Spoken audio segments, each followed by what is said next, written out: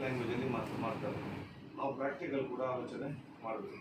For example seven days ಇನ್ನು ಮುಂಚೆ twenty days ಇದ್ದು ಹೋಯಿತು. ಮತ್ತು ಫೋರ್ಟೀನ್ ಡೇಸ್ ಮನೆ ಕ್ವಾರಂಟೈನ್ ಇನ್ಸ್ಟಿಟ್ಯೂಷನ್ ಟೆಸ್ಟ್ ಮಾಡಿ ಕಳಿಸುವಂತಾಯಿತು ಈಗ ಏನಾಗಿದೆ ಹೊಸ S O P seven days ಏಳು ದಿವಸ ಈಗ ಬಾಂಬೆಯಿಂದ ಬಂದು ಬರಲಿ, ಯಾವ ರಾಜ್ಯದಲ್ಲೂ ಏಳು ದಿವಸ ಒಂದು ಬಂದಿರಿಸು ಮತ್ತು ಟೆಸ್ಟ್ ಮಾಡಲಿಕ್ಕೆ ಇಲ್ಲ. ಏಳು ದಿವಸ ಜ್ವರ ಗಿರ ಬಂದರೆ ಮಾತ್ರ ಟೆಸ್ಟ್ ಮಾಡು. ಇದು ಭಾರತದ ಭವಿಷ್ಯ ದಿನಗಳಲ್ಲಿ ಇದು ಮೇಜರ್ ದೊಡ್ಡ ಪ್ರಾಬ್ಲಮ್ ಇದೆ. ಇದು ಈ ಇದರಿಂದ. ಅವರಿಗೆ ಇದನ್ನು ಯಾರು ಇರ್ತಾರೆ ಅಂತ ಹೇಳಿದರೆ, ಹೇಳೋರು ಏನು ಲೆಕ್ಕ ನೋಡ್ತಾರೆ ನಮಗೆಲ್ಲ ಟೆಸ್ಟ್ ಮಾಡ್ತೀವಿ ಪ್ರಾಕ್ಟಿಕಲ್ ಅದು ಅಲ್ಲ. ಇದು ನೋಡೋದಿಲ್ಲ ಸ್ಪ್ರೆಡ್ ಆಗೋದವ್ರು ನೋಡೋದಿಲ್ಲ. ಆದ ಕಾರಣ ನಾವೆಲ್ಲ ಎಲ್ಲಿ ದಿವಸ quarantine but this compulsory test ಮಾಡಿ ರಿಪೋರ್ಟ್ ಬರೋದಂತವ್ರು ಬಿಡಬಾರ್ದು ಯಾರನ್ನು ಕೂಡ ಮೊನ್ನೆ ನಾವು ಬಲಿಯರಲ್ಲಿ ಆಯಿತು ಇಡೀ ವಾರಂಟಿ ನಮಗೆ ಡಬಲ್ ಡಬಲ್ ಕೆಲಸ ಅಲ್ವಾ?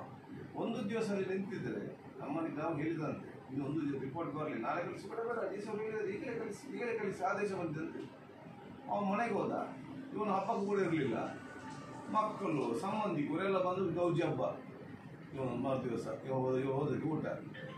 ಆವತ್ತು ಮಧ್ಯಾಹ್ನ ಬಂದರೆ ಮತ್ತೆ ಪಾಸಿಟಿವ್ ಕರ್ಕೊಂಡು ಹೋಗ್ತಾರೆ. ಈಗ ಮನೆ ಕ್ವಾರಂಟೈನ್ ಬಂದವರು ಕ್ವಾರಂಟೈನ್ ಊರು ಇದು ಕಾರಣ ನಮಗೆ ನಮ್ಮ ಡಿಪಾರ್ಟ್ಮೆಂಟ್ಗೂ ಡಬಲ್ ಕೆಲಸ ರೆವೆನ್ಯೂ ಕೆಲಸ, ಊರವರು ಸಮಸ್ಯೆ.